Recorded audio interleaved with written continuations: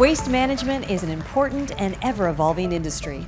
Changes in how products are produced, packaged, and consumed have a significant impact on the waste management industry, as well as public awareness and climate mitigation efforts that help create a circular economy where no item is wasted.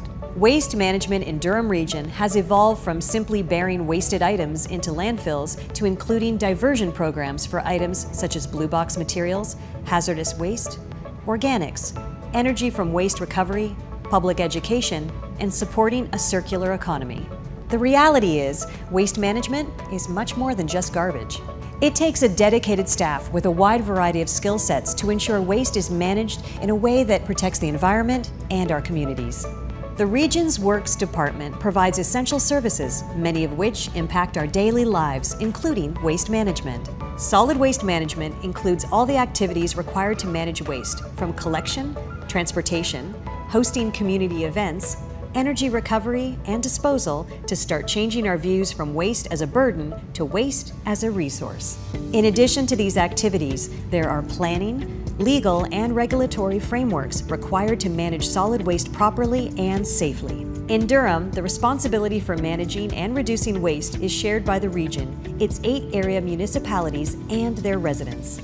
The region is responsible for the final disposal or processing of residential or household waste that is generated within residential homes, multi-residential buildings, and for the waste collected at the region's waste management facilities. Household waste includes items such as garbage, blue box materials, and organics. This waste can include a wide variety of materials, including non-hazardous and hazardous materials. Non-hazardous waste includes materials such as plastics, food scraps, metals, and paper, many of which can be recycled or composted. Hazardous waste includes items such as household cleaners, paint, and batteries. These must be brought to a waste management facility for proper disposal to protect the environment.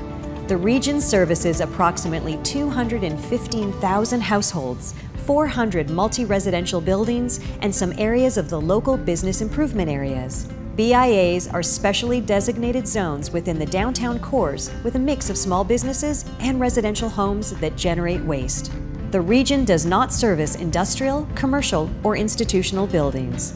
Companies are responsible for providing their own private waste, recycling, and composting services that meets waste regulations. The real heart of waste management starts at home with residents just like you. You can start by rethinking the items you bring in your house, reduce the amount of waste you produce, reuse items whenever possible, and by participating in your curbside waste management programs, including recycling and composting. You can also help by visiting Durham Region's Know Before You Throw website to make sure you're disposing your items properly. Waste needs to be managed responsibly to protect the environment and human health. How we choose to manage waste today impacts the future. Thank you.